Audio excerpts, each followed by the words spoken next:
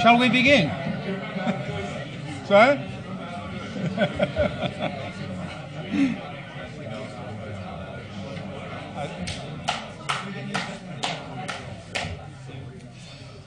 Right, let's, uh, let's begin. It's a great uh, pleasure to, to welcome you all to the inaugural uh, Michael Lipton lecture.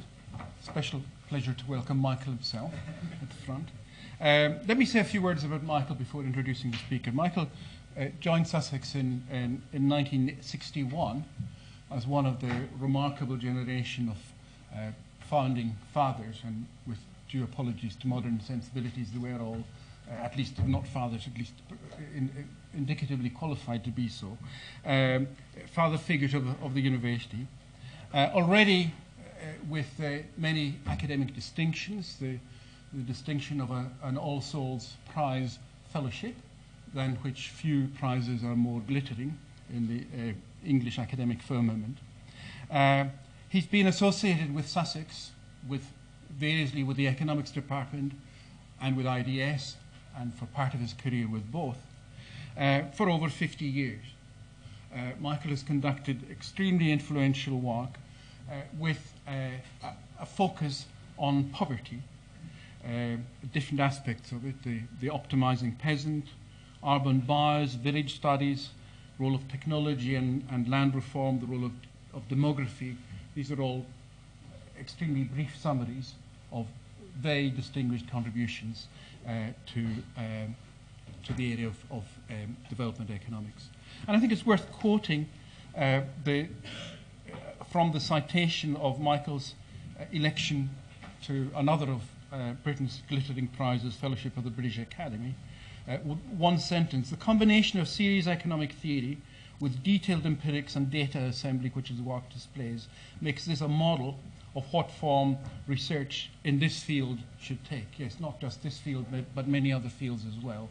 And I like to think of that as the gold standard to which much of uh, research uh, at Sussex uh, aspires, not just the research of, of uh, faculty, but the very important body of research undertaken by uh, successive cohorts of distinguished research students too. so it's, it's very appropriate that Michael, your extraordinary contribution to economics and to the University of Sussex should be recognised with this, this lecture series. Uh, and it's very uh, appropriate uh, to invite Jan Willem Gunning to give the inaugural Michael Lipton lecture. Jan has been a professor of economics at the Free University Amsterdam, uh, having, having just about managed a close approximation to the pronunciation of your name I'm not going to attempt. the, the, the, the, Dutch version of the university name. Um, he, has been at the Free University Amsterdam since 1987 uh, and a professor of development economics since 1993. Uh, between 1998 and 2000, he led the Centre for the Study of African Economies uh, at the University of Oxford, where he also uh, presumably earlier got his PhD. Um, he's uh, a fellow of the Royal Netherlands Academy of Arts and Sciences, has an honorary doctorate from the University of Auvergne for his leading role in studying the economics of Africa. I believe he's currently taking a, a career break, break uh, teaching mathematics at a secondary school in Amsterdam. Um, I, I, no doubt many of us would have much to gain were he to give us a refresher course uh, in, in, in, in, high school mathematics. Uh, but it's probably more appropriate uh, for the, the, Michael Lipton lecture that he, he um, talk about development economics. So it's a great pleasure to invite Jan Willem Gunning to talk about, as you see on the screen, the, this, the brass standard.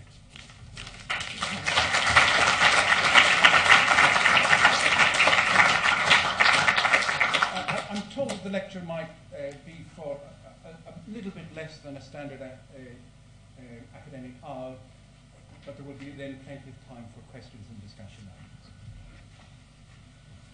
Okay, thank you very much for uh, the invitation. It uh, is really, when I got the invitation, it wasn't labeled like that yet, but I'm certainly quite honored to uh, give the, uh, the first Michael Lipton uh, lecture. And uh, Michael, when I got into poverty, I think the, the very first book I read was yours on why poor people stay poor. So I'm, uh, I'm glad to recognize that. Um, if I, um, oh, shouldn't have done that. Um,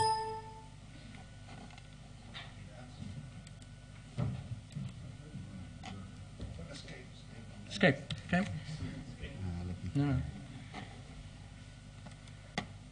Here you are. Okay, but I want full screen. Yeah. There we are. Okay, if uh, um, it's, it's very good that I'm doing this in Hol- in in the UK because you couldn't have possibly have done this presentation in Holland on that date because at the moment December 5th the whole country comes to a standstill. That is when the Dutch celebrate their version of St. Nicholas, which is completely different from what you're used to. And one thing which didn't, well, people are still wrapping their presents, it's going to take the whole night. And one thing they have to finish, and they never finish on time, is their poems, because you make fun of each other and you do that by gently killing them in poems. It all has to rhyme, so people have to make these rhyming poems in the late afternoon of December the 5th. And my university, one year, professor really took this seriously, and when he had to uh, lecture on December 5th, he did the whole lecture on rhyming, and I'm not going to uh, imitate that. okay. Uh, the brass standard, so you will have guessed, just another nail in the coffin of the, uh, of the RCTs. Uh, I will quickly go over uh, the uh, debate so far, which most of you will probably know quite well, and then I'll focus on, on my particular nail. And um, I will also suggest that there is a problem, but there's also a solution. Um, okay, here we go. Um, of course, in development economics, people tend to forget that. But there's always been a, a very strong concern to establish the, uh, the impact of government policies. Um, but it has become a completely new industry with the introduction of RCTs. Uh, before that, uh, probably helping, there was a real concern about the sort of regression analysis which uh, became uh, common in, in macroeconomics. Uh, the growth regressions, uh, I think, were a very bad example.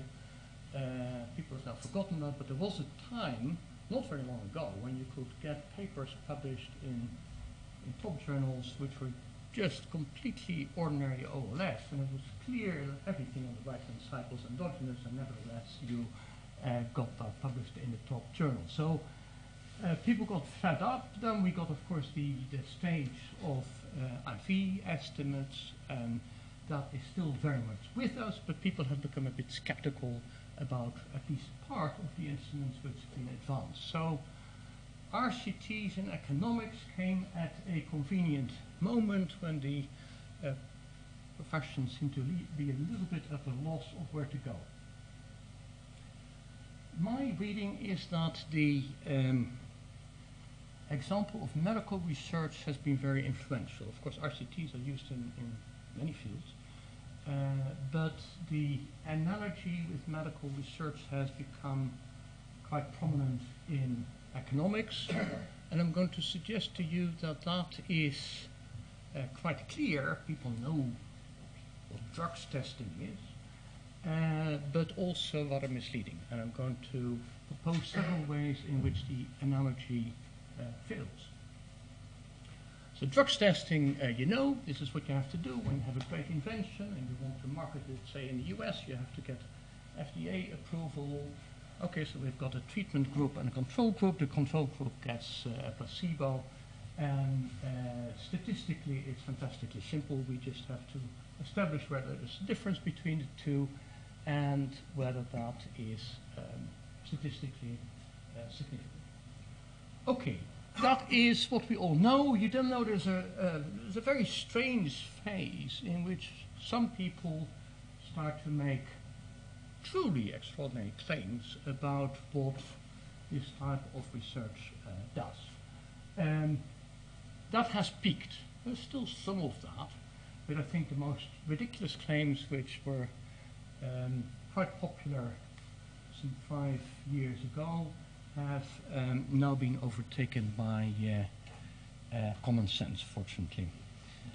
Um, hold on. Okay, so uh, just to remind you, but most of this you know, will know this, uh, the randomistas uh, made uh, these, these outrageous claims, and I think these three statements best summarize their position. Um, so the first one is only RCTs can identify causal effects. Uh, the second one, which generated most heat, uh, is everything else is not worth studying if the, if the question doesn't fit uh, that particular uh, method, then it really is not a scientific question, uh, as the Duflo said at one time. And the I think the most interesting one is the results have external validity, and that is where the debate still goes on. We all know why internal validity is claimed for RCTs. I'm not going to spend much time on that, because, but even there you can put a question mark. But most of the discussion is, of course, on the external validity. And surely there some of the claims were completely over the top. Uh, so unlimited, I'm not making up, that up. This is a paper by uh, Banerjee and He, in which they claim that if you've got, many of you will know the paper, if you've got just one good paper on a topic, one of their examples is the effect of class size on learning.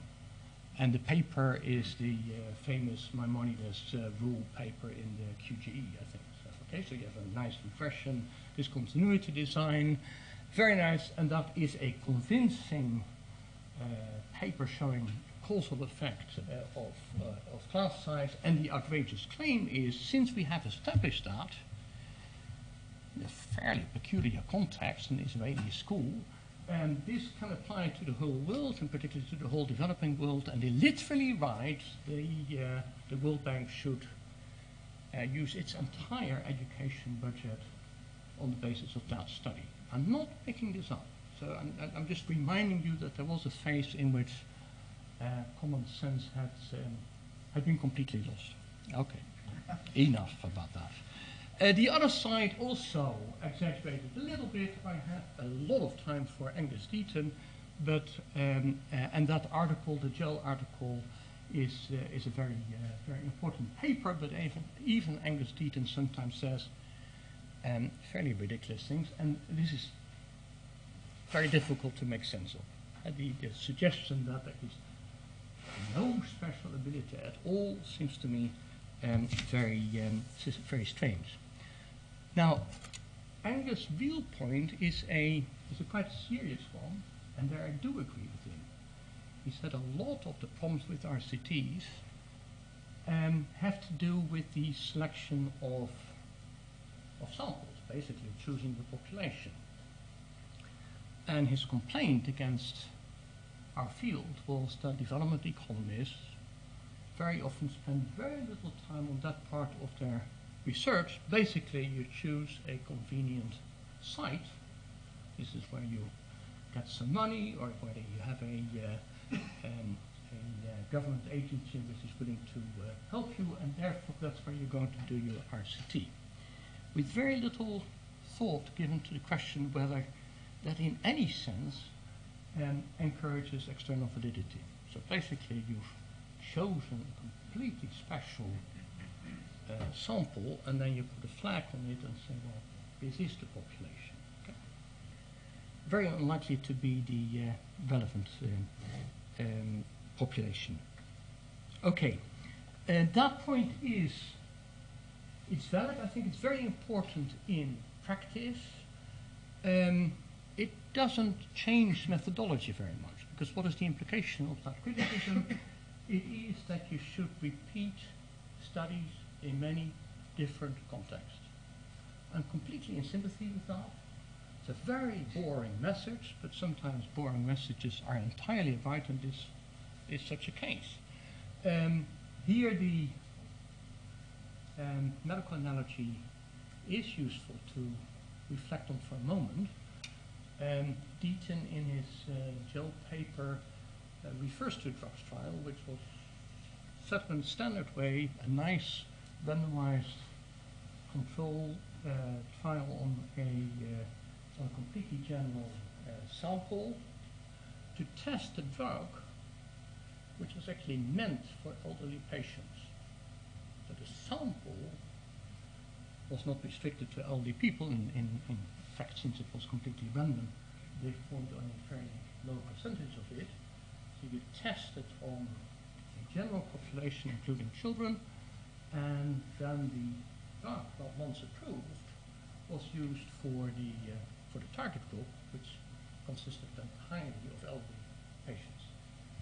And I'm, I'm quoting that example because the consequences are horrendous. A lot of these people die. And that wouldn't have happened if people would have given more thought to the design of the sample, in this case, of obviously. Again, the message is boring, but it's important. Obviously, they should have made sure that the sample matched the target population rather than the population general. Okay, so this is one of um, Deaton's hobby horses. I think he's quite right and I'm repeating the message because the uh, profession, um, of course, acknowledges the point, but it, in practice they haven't really taken it on board, and that's why I'm repeating it today. Okay, it's not a fundamental point, uh, but it is a point where I would argue that the usefulness of RCTs in development economics is damaged. It simply hasn't uh, been given the attention it deserves. Okay, the um, this is a quote which many will, of you will recognize because it comes from the uh, Banerjee and Duflo book. Poor Economics, one of the strangest titles. I still don't understand why they call it Poor Economic, uh, but okay. Um, so this is what certainly got a lot of people uh, angry uh, namely the claim that uh, uh, what most of us would consider as difficult but, but truly important questions, you sh basically shouldn't waste your time on because they, they're not in the, the box of uh, let us say uh, fighting diarrhea, that is the box where you can use your RCT tools. Um, that um, extreme position has been um, attacked, I think, quite effectively by, by, by people like Martin Ravallion, uh, by Dani Rodrik, and many of you will recognize that. Um, here again, I would make a comparison with what happens in medicine, where there's a similar situation. Lots of questions in the medical field where any doctor would say, no, I can't use an RCT. Um, and the implication, which is accepted in that field, but not yet in our field, is that we have different levels of evidence. This is a, a phrase used in medicine. And sure, some of these levels, and they, they have a ranking, and they do put RCTs first, some of these are better and more convincing uh, in establishing causal effects, but they don't draw the conclusion here suggested that the others don't deserve any attention. So this is a much more sensible position where you say, okay, we can't do the best, I know for the moment, suggesting that RCTs are indeed the gold standard, um, but we do want to address important questions which are not suitable for that methodology. Okay, so here I think the medical people um, have adopted a much more sensible attitude than the um, economics profession. The um, let me take you through some of the criticism. This one we've, we've discussed. Um, the um, external validity is still a very hot uh, topic. Uh, I've, I've already mentioned the, uh, the first paper, the Banerjee and He paper, so that's the one with the extreme uh, position. People change. The Banerjee and Duflo book is much more reasonable on this point. And so there's a big change in position. You don't find these, these, these ridiculous statements about external validity in, uh, in the book. Um, here's an, is a very different point, which is somewhat related to the point I'm going to stress later in this lecture. Um, Deaton, again, in the Journal of Economic Literature paper, says, look, what may happen in practice is that what we consider the control group, that is the one which should not be exposed to the, uh, to the policy, in fact is changed. And one way that may happen is if we have different decision levels within government. So his example is a central government that takes a decision on, say, education and particular districts, and let's say Kenya are favored by that policy, but then a district officer, provincial officer, may decide, well, come on, I, I, I, I used to have a budget which I divided between all the districts, and now some of them are in a treatment group, so they, they, they don't need the special care. They are getting special care from another level, and therefore I'm, I'm going to reallocate my budget. Okay? Entirely sensible. Um, but you see the problem. That uh, the control group no longer is a control group. As a result of the RCT, uh, districts, communities, whatever the uh, unit of, of, of observation, um, which are supposed not to be affected, are in fact affected. Uh, the uh, implications are obviously quite serious because the, uh, you will now underestimate the, uh, the effect of the uh, policy and quite possibly you might erroneously conclude that the policy is ineffective when in, if, when in fact it is effective. It doesn't have to be like that, but that's a possibility. So that criticism is really serious. And if you think of RCTs as a sort of a lab situation in which you completely control what happens, you don't need to worry. As soon as the uh, setting for the um, experiment, for the trial, becomes more realistic, so in my example, you, the actual decision makers are involved, including this district officer, then you have a real problem. Uh, this is one of the ways in which the medical analogy fails because we, we're dealing with real people here, people who are taking decisions. They're responding to um, the uh, experimental situation.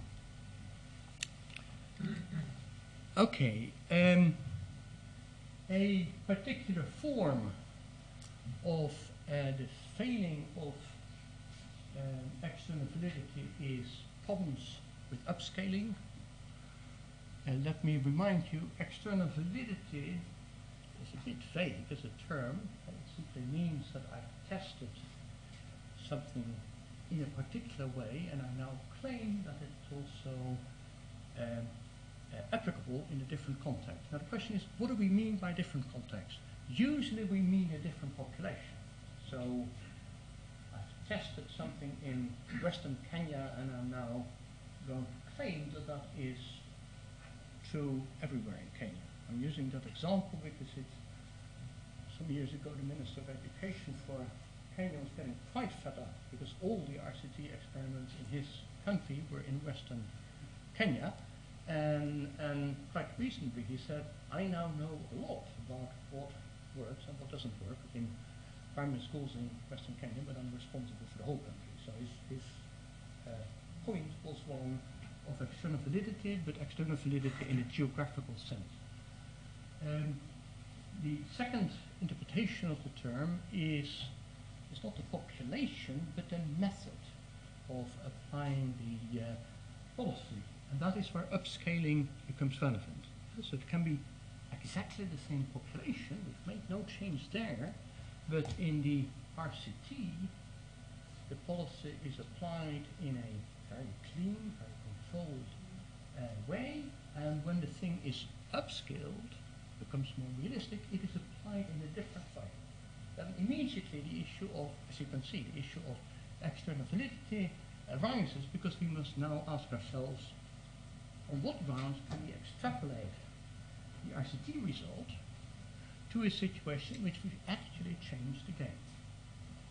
Um, well, uh, to take a second paper, Tessa Bold and her colleagues, they, uh, it's a wonderful example, a pretty shocking example.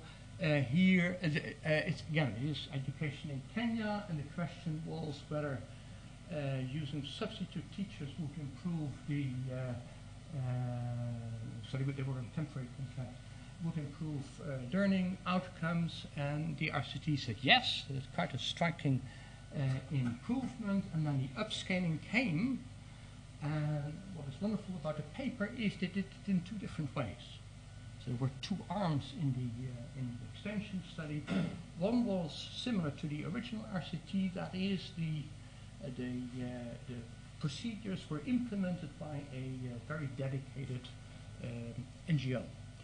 And the other was uh, the Kenyan government. And was there a difference? Yes, there was a difference. Basically, uh, the policy didn't do anything in the second case, that is, if, the, if it was implemented by the uh, uh, Kenyan government rather than by, an NGO. So I think a little bit about that.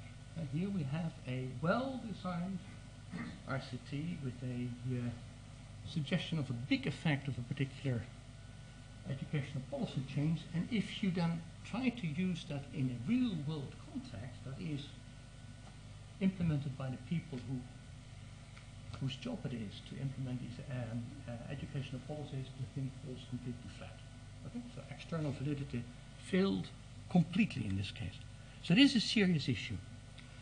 Um, I'm going to spend the rest of my time on the last one, which is, I think, a slightly different uh, criticism. That's a point which um, uh, my colleague uh, um, Chris Elbers and I have been working on for a number of years.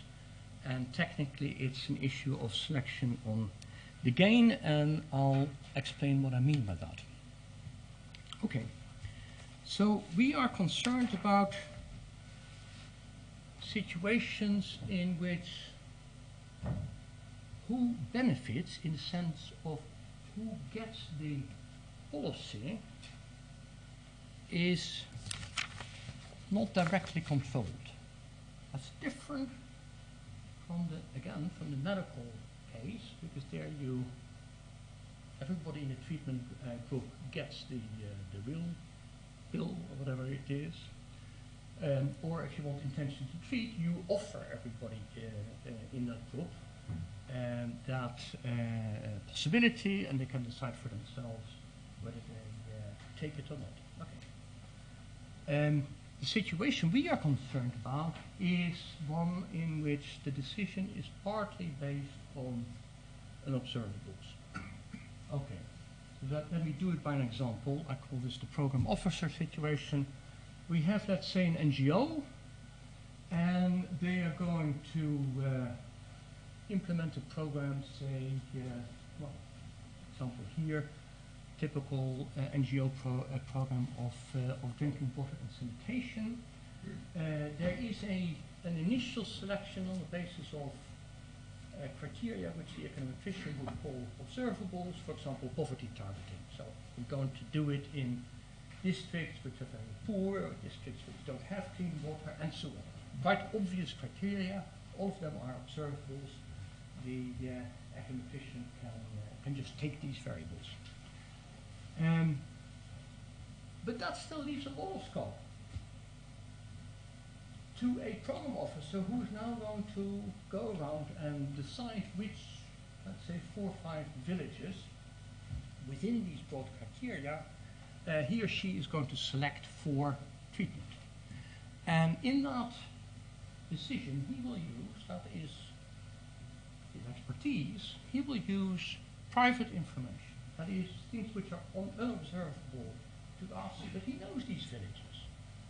And he knows one is all hopeless, they're always very difficult people to work with.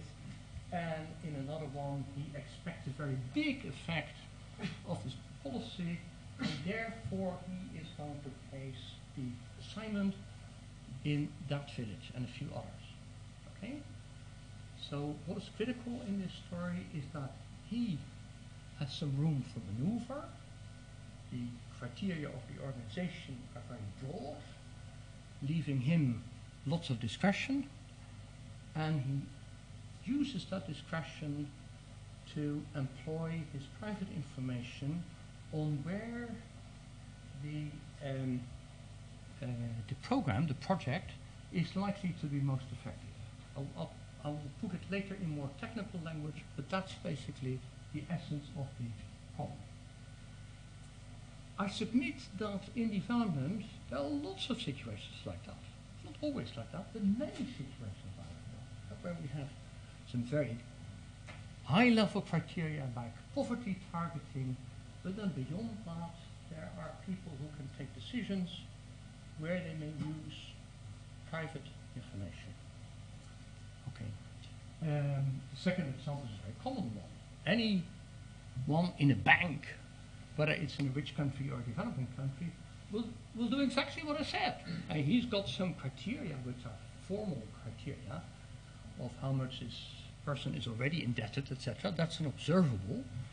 But um, uh, since he knows the people in his village, he will have ideas about the likelihood of repayment, which to us as researchers uh, constitute private information. So again, I'm not, I'm not going to claim too much.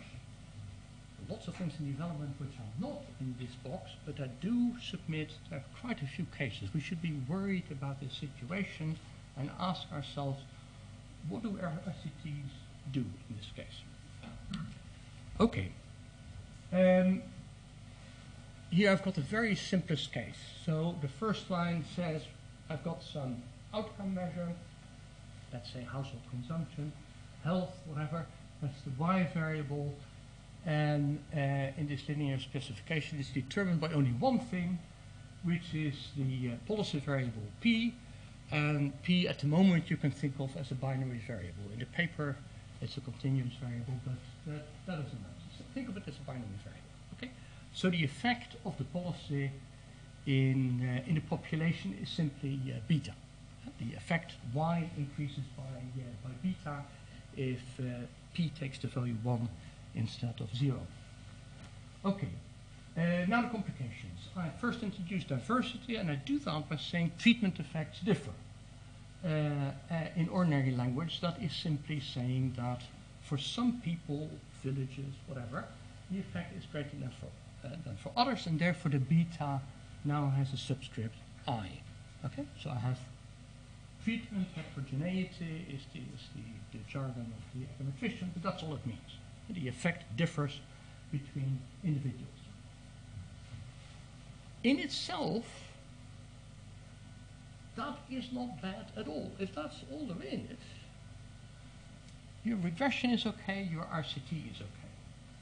Because what we will get is the expected value in the sample, but if the sample is big enough, we will get close to the expected value in the population. The expected value of beta, that is the expectation over i. It's precisely what you want to know as policymaker, because I'm going to throw p's around the country, that is, I'm going to assign some of you in this lecture hall values of 1 and others 0. And if I want to know what is the effect of that, is the expected value. Do I have a whiteboard? No, I don't need a whiteboard. Okay. Uh, it's simply the effective, uh, expected value of the product of beta and p. That's it, because that's the total effect. Okay? And since p is, a, uh, is only 1 or 0, uh, I'm therefore interested in the expected value of beta. This is a long way of saying it's okay what you do, namely ignoring the diversity. Uh, we, we, know that people are not identical in treatment effect, but it doesn't matter. In a moment it will matter a great deal, but at the moment I haven't introduced that yet. Okay, uh, it gets a bit more problematic when I introduce selectivity. Uh, that is the uh, intervention is not universal, like saying all kids have to go to school, and it's, uh, it's not random. Those are the two cases where you can sort of escape trouble. Um, but uh, we can quickly rule these out. Uh, Very few programs are like that. I'm interested in this case, the assignment, that is the decision to give one of you the uh, value p equal 1, is now correlated with the beta. So what does that mean? Now we get the private information. I'm the program officer. I've got some idea about differences in effectiveness of a program between villages or across individuals, say in a school. I think it will work better for this pupil than that pupil, and I base my decision on on that private information. Okay. Then we've introduced uh, correlation, and some of you will recognize that as what Heckman calls essential heterogeneity. He calls it essential heterogeneity for a very good reason, and you cannot solve this in a standard way. It's a very simple proof, uh, which I cannot show you because I don't have a whiteboard, but many of you will know it. It's a one, one line proof, and that shows that any instrument you can think of must fill, because if it is correlated with the uh, thing you are now uh, instrumenting for, that is the P, uh, it must also be correlated with the error term. Therefore, I have a contradiction. Therefore, it's impossible. It's one of the nicest impossibility theorems I know. It's impossible to find an instrument. It's a truly important result. Uh, Heckman writes in a very dense way, but this is really worth remembering. Okay, so in this case, we our standard toolkit fails. Don't start looking for an instrument because you can show that it doesn't exist. Um, this is another way of looking at it, a much simpler way, saying, look, as soon as I've got that correlation, I've got this situation, I cannot break the term I'm interested in, which is this one. Remember, that is the effect of the policy.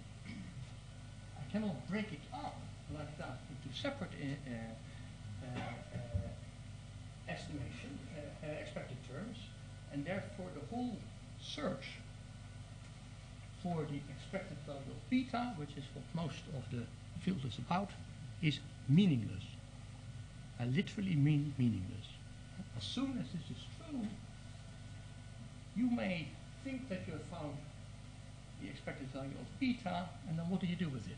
Because that doesn't answer any sensible question. The sensible question is this one. That's what you want to know. So this is where the, the field goes really wrong. You, you may find and you may think you found an answer, but that uh, is not going to help you for this reason.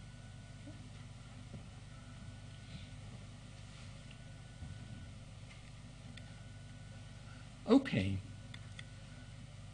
The, uh, you will have guessed that RCTs are not going to work in this situation. Uh, it's a fundamental problem. RCTs you can think of as a uh, as a form of an IV estimator, and if the IV fails, then the RCT is going to fail as well. The a an easier way of expressing that is saying the RCT misses the essence here, because the RCT is going to say you get it and you do not get the treatment, but the essence of the problem is that who gets it and who doesn't get it depends on characteristics which, by definition, are unobservable, and therefore the person doing the RCT cannot get it right. Okay? So it's really a fundamental uh, problem. Uh, I just said that. Okay. And that's my conclusion. You, you, you get a correct answer, but it's to a completely irrelevant question. Don't waste time on this. As, if, as soon as you recognize that you're in this case, uh, trying to do a, uh, an RCT doesn't make sense. Now, if I were a uh, randomista, and I would say, come on, you are overstating your case because I am obviously not stupid. I understand the problem you're sketching, but in that particular situation, I wouldn't randomize over beneficiaries. That is, uh, to go back to my original example, the beneficiaries were villages, and the uh, RCT advocate would say, come on, I'm, I'm see what you're saying. I'm not going to uh, make this stupid mistake by randomizing all the villages. I realize what you're saying is discretionary power of the program officers, and therefore I must go one level higher. That's a very clever answer, the RCT expert. So he now says I can solve the problem by changing the level of aggregation. I randomize at the level of beneficiaries, villages, but uh, at the level where the decisions are actually taking the program officer. That sounds right, and for a long time I thought it was right, um, but it isn't. The first, uh, the first point is obvious, you, you lose a lot of statistical power, depending on the situation, but you may have a quite a small number of program officers, so you're now uh, trying to rest your case on a very small number of observations. So you've basically thrown away lots of information. The second reason is much more serious. The, um, it's very unlikely that uh, the characteristics of the program officers are totally independent, are uncorrelated with your controls which also affect the outcomes. For example, program officers of, let's say, nationally operating NGO will be distributed over the country in a particular way. Not randomly.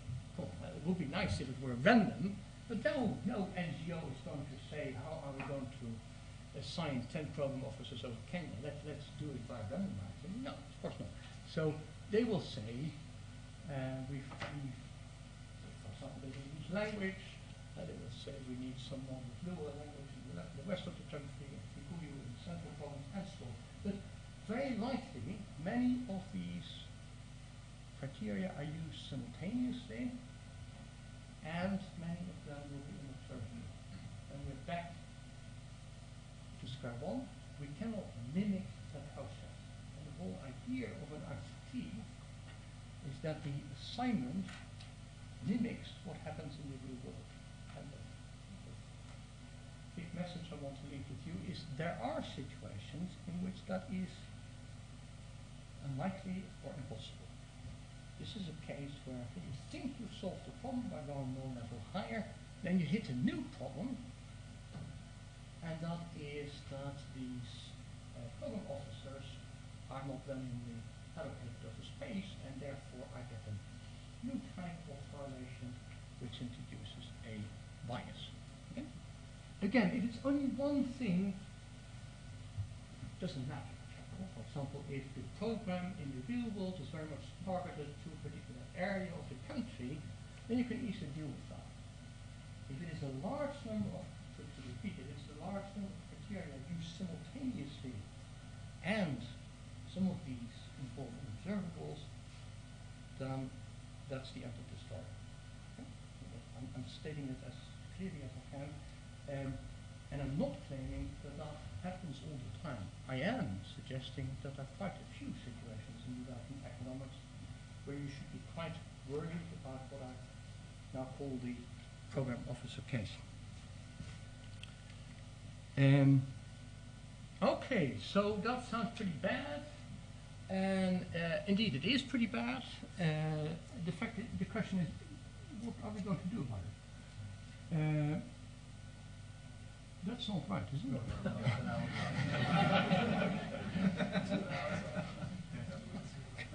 it's Dutch time. Okay. Um, okay. Um, no, because I do want to uh, finish that one. Um, I'm going to uh, sketch you a method which uh, will deal with this problem, so that's helpful. Uh, you will not like it because it involves observational data. We've been taught, that's a recent development, we've been taught that observational data are suspect. Uh, they cannot uh, deal with causality, there are all sorts of things wrong with them. And I'm going to um, swim a little bit against the stream and saying, well, that may be true, but there are situations in which you better use observational data. I hope I've convinced you now that there is a non-trivial case in which RCTs are really no good at all. Okay, here we are. Uh, yeah, in this case they can do the trick, and that I, is what I have to show you. And now I'm afraid I do have to use a little bit of algebra, but don't. The next sheet looks horrible, but it's actually quite simple. Uh, okay. Let me now. Let, let's do it in stages. So. okay. Um, I've now slightly uh, complicated the model. I've introduced controls X, but it's still a linear uh, effect, and I'm, I've now addressed one set of issues by taking differences. So it's how would be in a double difference in world, and I've already expressed the left-hand variable as a as a change in the outcome variable. So on the right-hand side, we have changes in x and changes in the uh, in the p variable. Okay. The concern. So I've, I'm, I've rewritten that now in the second line because that is what happens in a regression. You're actually uh, taking um, conditional expectations, and the conditional expectation I'm worried about is the one in the middle, because we now know that uh, beta is correlated with uh, p, or here with uh, delta p, and possibly also with delta x. In either case, I call it a problem. Okay, that's just repeating the definition of the problem. Here, this is the trick. We say, okay, let us suppose that that relationship between these three can be approximated by this linear approximation. It doesn't have to be linear.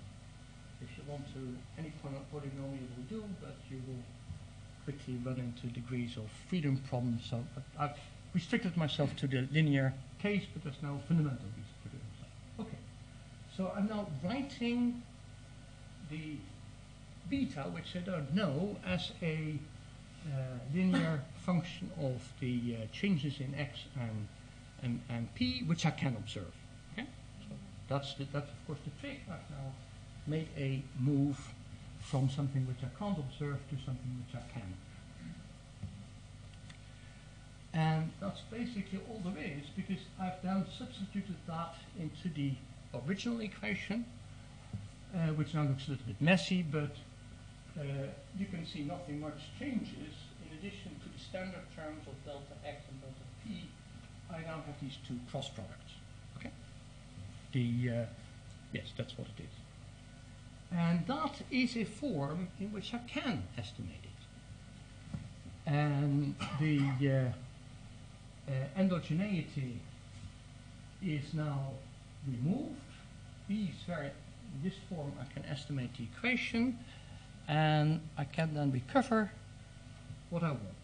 On the left hand side, that is what we call the total program effect, but the total program effect is nothing other than that expectation of uh, beta times p, that is the effect in the population weighted by how much p I give people.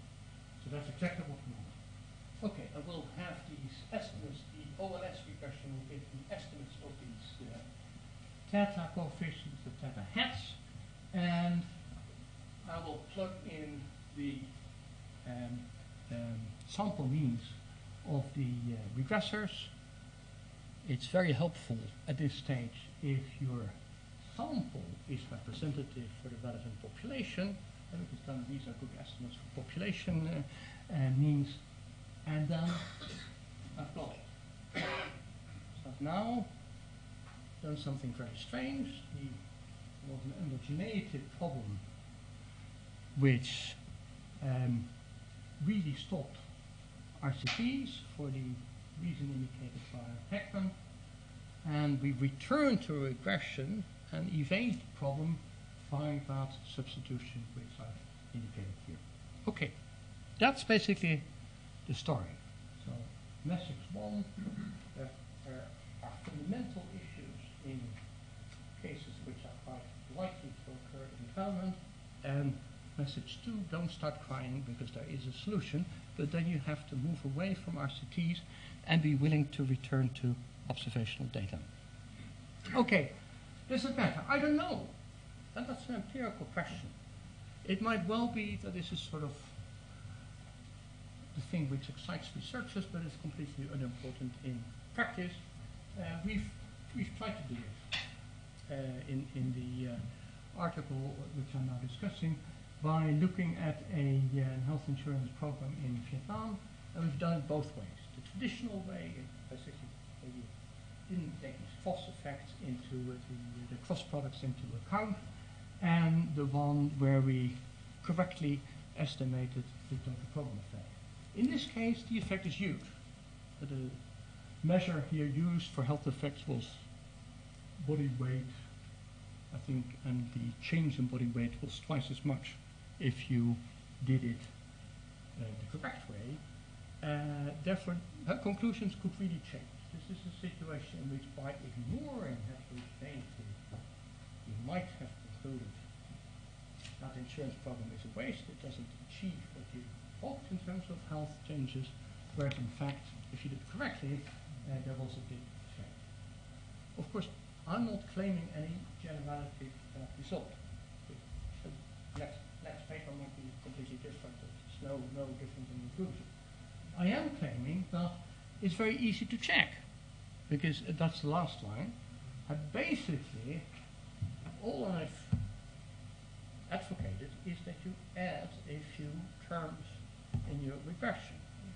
There's a long story about it, but that's all that uh, was going on.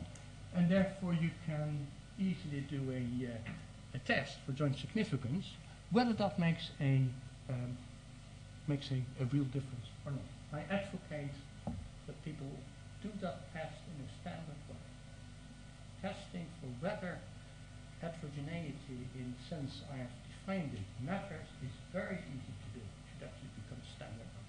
And then we know when we're making a mistake. And perhaps in many cases, many, many applications, there is no problem, but the data suggests it's at least something you should worry about. Okay, let me conclude because then we have some time for discussion. Um, so I do claim that uh, there are a lot of situations which I've summarized as the program officer case, but which technically is the, the correlation of assignment and treatment effect.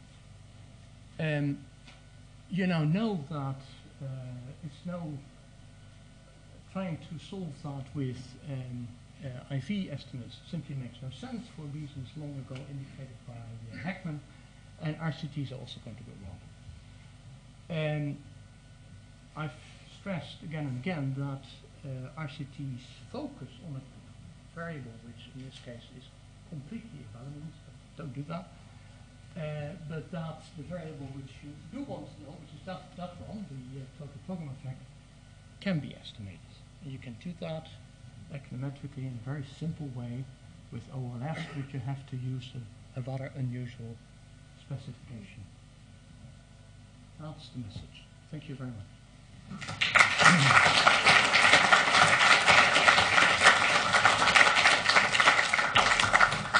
Thanks very much. Questions? Objections?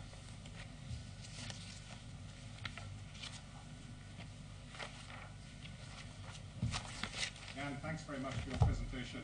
A simple question. In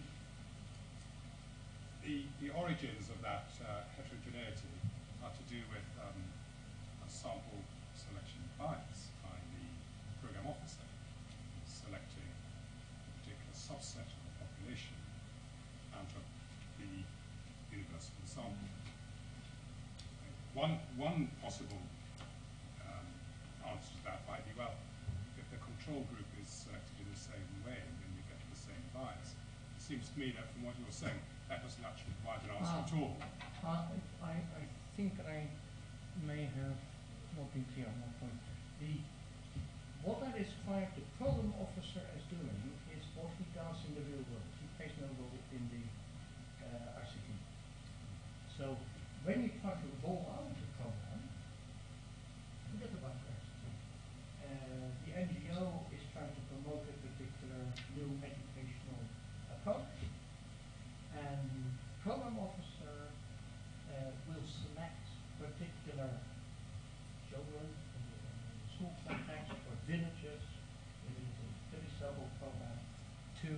the program. That is what I mean. What the researcher does is, is entirely. So I certainly wouldn't call it bias, uh, because this is just the nature of the problem. And, uh, and that, if you like, is targeting. It's, it's, it's a particular form of targeting. Everything we do in development has that. The question is, the, are the characteristics of the control different to the target? And no, that I haven't introduced that in the story, and you don't need that. The, uh, the two could be entirely the same. And I'm hesitating because the concept of treatment and control group now becomes vague. As you have discussed about what you mean by that. Um, so the easiest answer is to say within the treatment group, some will now not be treated. Within the control group, everybody will be. So if I set it up as an RCT, that's exactly what would happen. Half the sample has no treatment at all.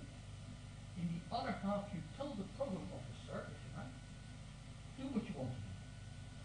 And he or she will, in some cases, uh, treat, or should the intention to change, offer treatment, and in some cases he won't. And that, from the focused on how does he take the decision, partly on the basis of himself. That was the point.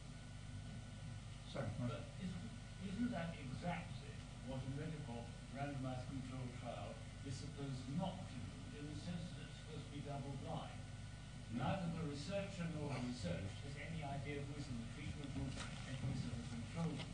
Now you may say, well, still, the researcher can select, the, the doctor can say, we won't include people with kidney disease in this particular trial, or something like that. Well, that does happen. But then that is, apart from that, there is uh, a total blinding until the final results are published. You don't know. And that way you also avoid the effect on the person being, not only the effects you just tried, but also the also serious effects on the person being investigated. That if they know the, the treatment, if they perk up and are likely to show better results. Now, maybe one of the things wrong with social RCTs is that they can't or don't do this double-blind procedure.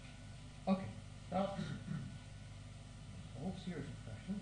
Um, and let me try to remember now.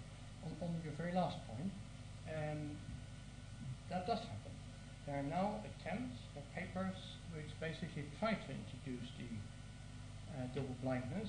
Uh, so there is, for example, a paper in which introduce fertilizer, but to address the point you're making, uh, you, you, you get it back, but you're told that there may be fertilizer, good fertilizer in it, or basically placebo, which is just lousy fertilizer. Okay, so there are people um, trying to address the point of blindness. And I'm glad you raised it because I've forgotten to mention that it, it is one of the big differences. That uh, you're quite right. That in medicine, people insist on the double blindness, um, which also has its limits. Uh, at some stage, the surgeon has to know whether he actually has to cut off your leg or not. But, um, uh, yes, basically you can do it. Uh, and in, in economics, that's quite rare, but it's beginning to be used. Now my real answer. My real answer is uh, no, it doesn't solve the problem I sketched, because if you do a real double-blind thing, you, you don't tell the program officers who's in front of them.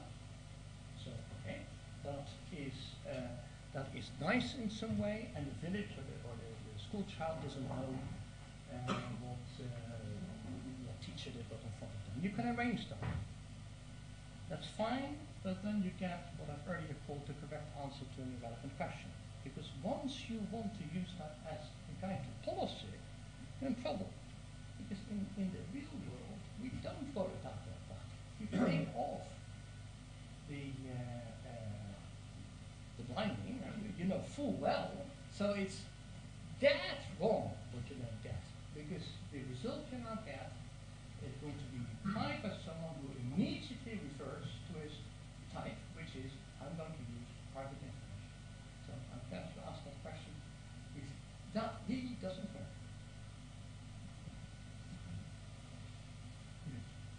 Can you go back to your slide with the article? Okay, so the conditions under which this works are conditional first line, conditional on the differences in the y's being additively separable in the differences in the x's and the differences in the b's. Yep. Okay? Yep. Okay, then, then I, then the rest follows. Yep. But, so, in what sense is, is a common problem that we have, that that particular first line, that, that it's valid to, to be progressing the differences in the y's on the differences in the x's and the differences in the p's? Because typically, I mean, in a, in a world where you're worried about the contamination of x with p, and therefore the, the algebra that you're suggesting to basically think about all these interactions to, to, to net out a total program effect to cure the sort of essential heterogeneity problem. Um, so how, question one is how, how general is that particular set equation one? Uh, wh- when does that normally, is that apply to a wide class of problems first? So then the, the second question is, um, so you're suggesting with this logic that we focus on the total program effect. So a corollary of that is, under what circumstances then are we interested in the total program effect rather than the more typical trigonometry, etc. Um, and then I guess my third question is I'm struggling, I've been struggling as you talk to, to try and relate this to the latter stages of the um, Judea Pearl and Heckman debate on sort of the, the nature of interactions and the potential for interactions to do identification of causal effects.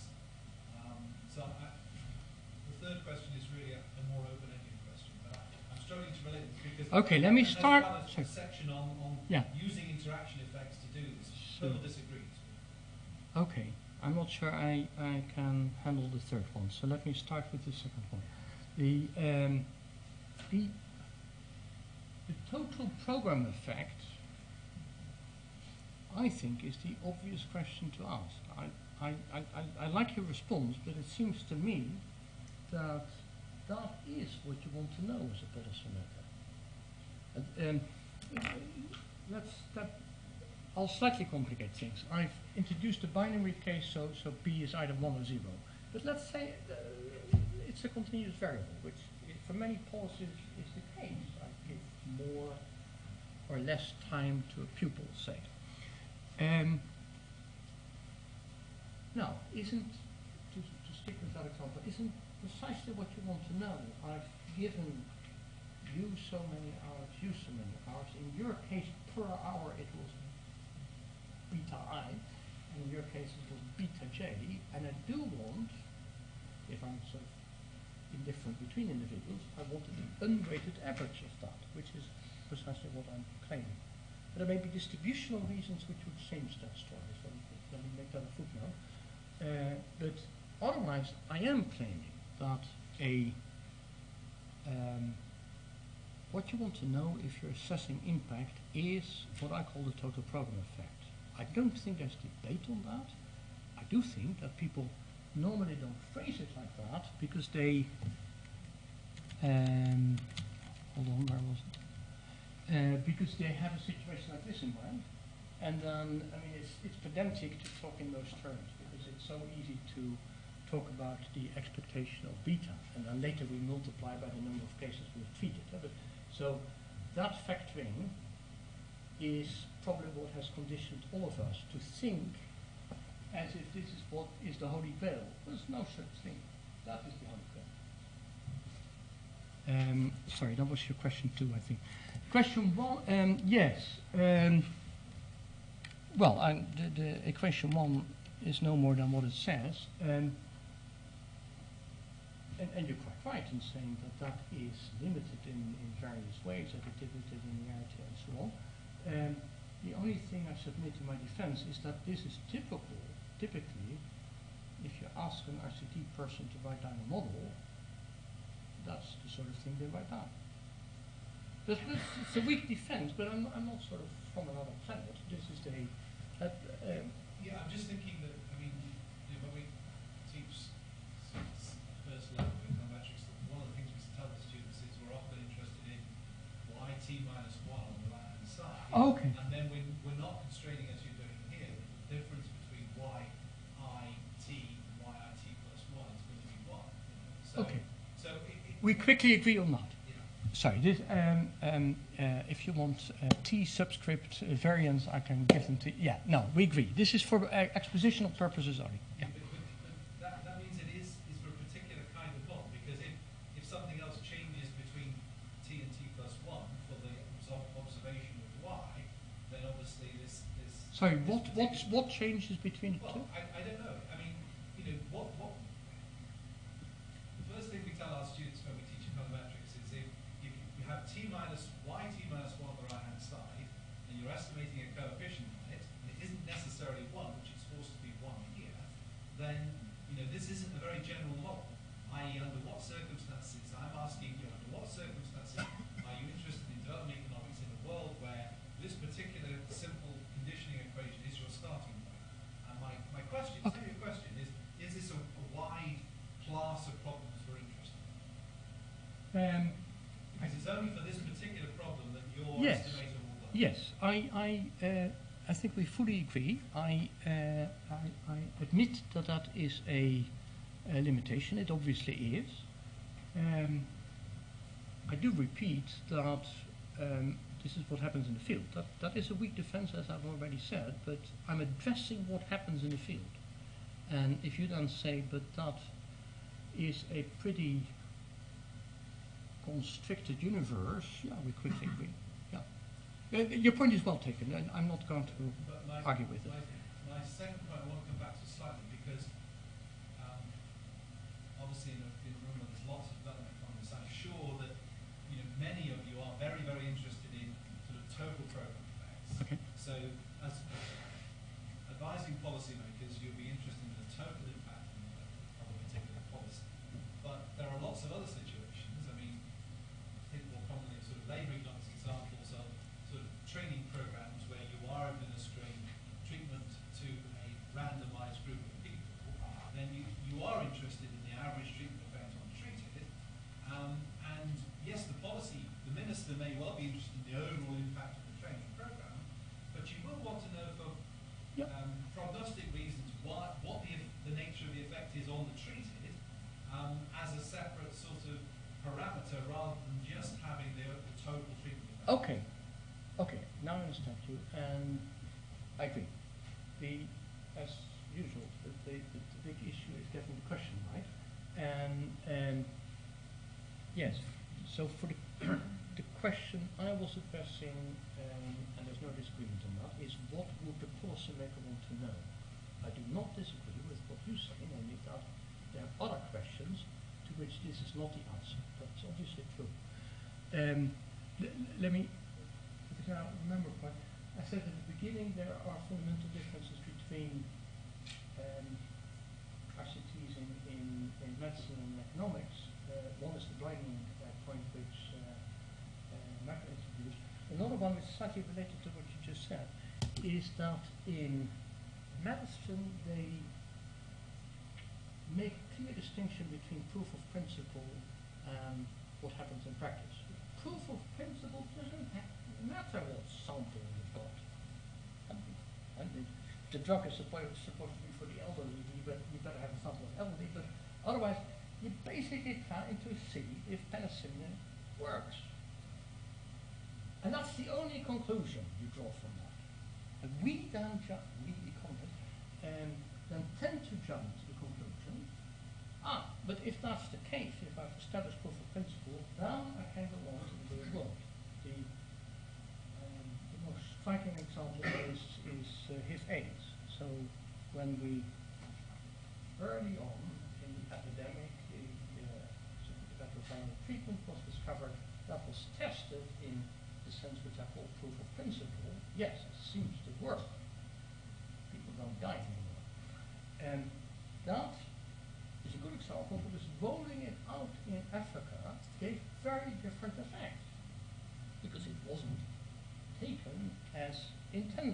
very good reasons. People who have AIDS share the drugs with their brothers, friends, etc., uh, totally reducing the, uh, effectiveness. And they're very different points. But the one point is proof of principle. The other one, what is, is, is a TPE point.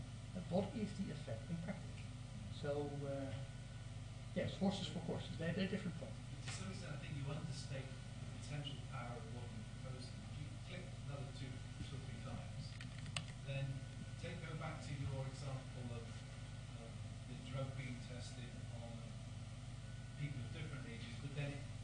a very different effect on the ear, yes. then you get one of these thetas on the bottom line, the one which is interacted with, sorry, theta 3, which is interacted on the group. Uh, that's right. That's the aged would have a very different yes. size and sign than the others, in, in which case you are pinpointing the nature of, you know, conditional on X. And you would pick it up here. So when you did the joint your Case, okay. okay okay. then your last line is actually really quite predictable about where you okay. might well have a problem. Yeah. Um,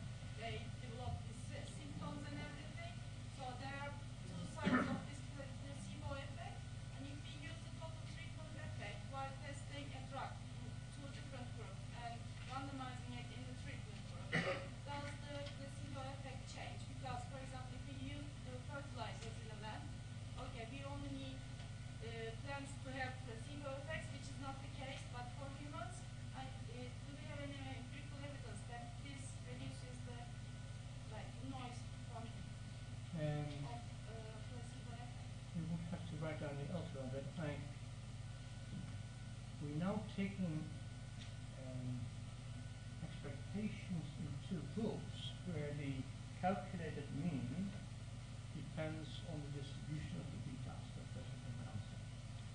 Um, and so if I've got big uh, samples, so we can do some error, that is.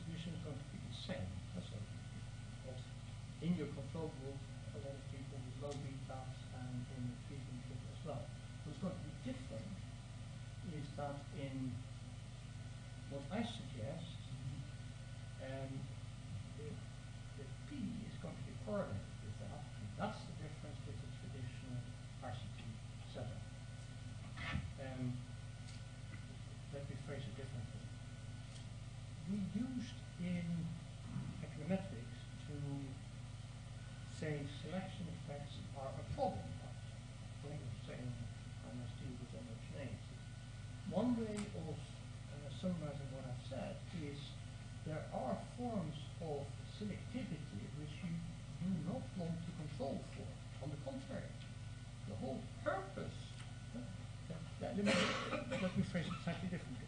If a program is effective because the program officers who implement it are very good in uh, allocating scarce resources in such a way that the high B tasks get the high P's, we should rejoice. And the TPE will pick that up because it is a weighted average, whereas the RCT will make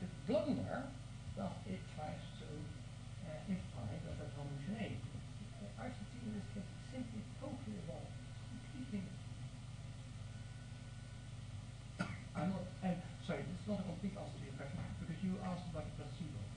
My, and that is basically the question about double graft. And so what I've introduced is, I've simply ignored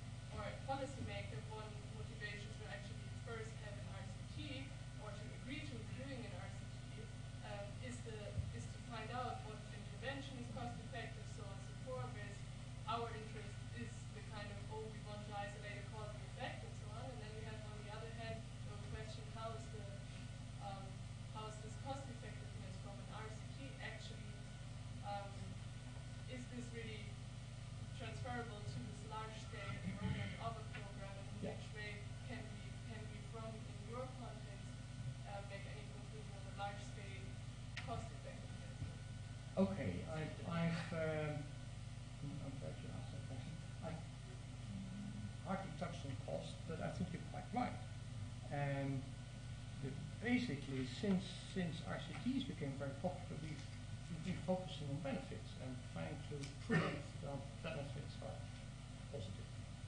Uh, if you go back to sort of mid 1960s, people would have been astonished. Development was sort of benefit analysis, and people would have said it's completely nuts to, to say this is a good policy because the benefits are positive without any discussion of cost. I think we have to recover that field. That is really, uh, we're not taken seriously. We just say, I know, I, I, I- I know a very effective education uh, program, and, and you get the question, so how much does it cost? And you say, I haven't looked at that. It's ridiculous. Um, yeah. Um, Richard, I think you can do that. At the RCTs, you talked a lot about personal information, which is unobserved. And I'm not clear where the unobservable stuff is in your framework. That's normally what we worry about, detail eye. No, uh, that sorry, that will uh, the differencing will take will do part of the trick, but you still have oh, what have I done now? Um,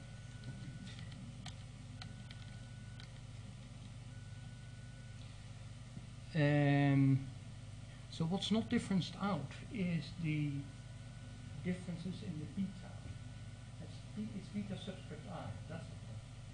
And that it doesn't disappear in the sort of double diff uh, combination, and that's indeed the essence of it. Selection, Yeah. Yes. Yes. Yeah. Um, look, that that is the, the, the centerpiece of my story. If you if you take away the heterogeneity in terms of betas, this thing collapses. There is no, nothing interesting to say. So, um, I must convince you that that is a relevant case, and I, I don't want to overstate it, but I do think uh, where people have split samples to look at um, heterogeneity, they often come up with pre- pre- pretty big effects, so we, sh- we should worry about it. And I've, I've shown you that if, if in the real world people respond to these differences, that's the front office's role, you really have a problem. Well, thanks very much. I'm sure you'd all like to join with me in, in, in thanking Jan Willem really very warmly, not just for an excellent lecture and discussion, but for participating in the Research Student Workshop during, during the day. It's a very important event for the department, and a very important feature of it is having external scholars come along to, to listen to, stimulate our students. So thank you very much for what you've done.